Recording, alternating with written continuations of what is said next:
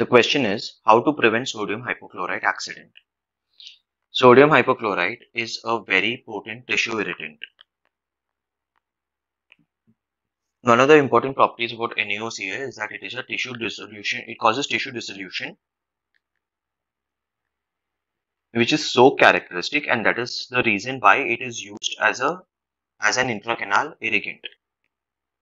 Okay, but one thing that we need to remember is since sodium hypochlorite is causes tissue dissolution, it causes necrosis at such a rapid rate that you will not even know how much of the tissue has been involved. And since it is a liquid, it can flow very easily and soft tissue in general produces lesser barrier than hard tissues. Okay, so sodium hypochlorite accidents are very, very common in a clinical setup and the patient has a lot of problems with the entire issue, uh, the entire accident that occurs simply because the edema that is created is on the face. So psychologically it affects the patient a lot simply because it looks very ugly. So what happens is this edema that hap that is formed it looks very scarring and has a very bad impact on the dentist. That is why you should try to prevent to have any such accident occur during your root canal therapy.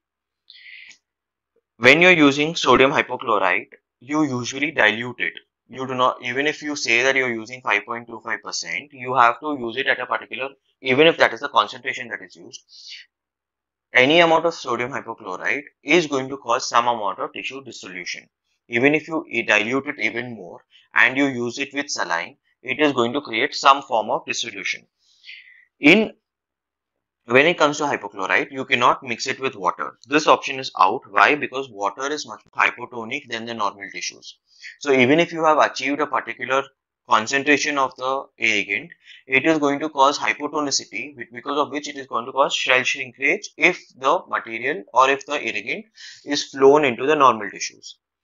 Second is mix it with saline only. Like I said, even if you mix it with saline and saline is isotonic, it has the property of tissue dissolution.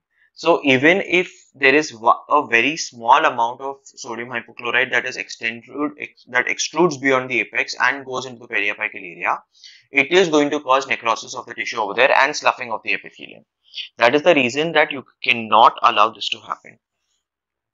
Third is ensuring that the needle is bound to the canal. You cannot allow that to happen simply because if the needle is bound to the canal, it is going to be very difficult for you to remove the needle back from the canal. That means to say that if you are irrigating the uh, canal with a particular irrigant and the needle of the can, uh, needle of the irrigant, eh, sorry, irrigation needle ends up being lodged into the canal, when you are trying to remove the needle, it is not going to come out. So when you're going to be irrigating it and it is tightly bound, it has a tendency that it might spread into the periapical region and it can cause untoward events over there. That is why you ensure that the needle is freely floating in the canal and it is not bound in any aspect to the canal walls.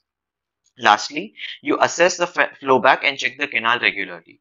This is the right option. Why? Because you want to see. Now what as endodontists, what we do is you irrigate the canal with sodium hypochlorite and you want to ensure that the canal through black backflow sorry. So what happens is if this is your needle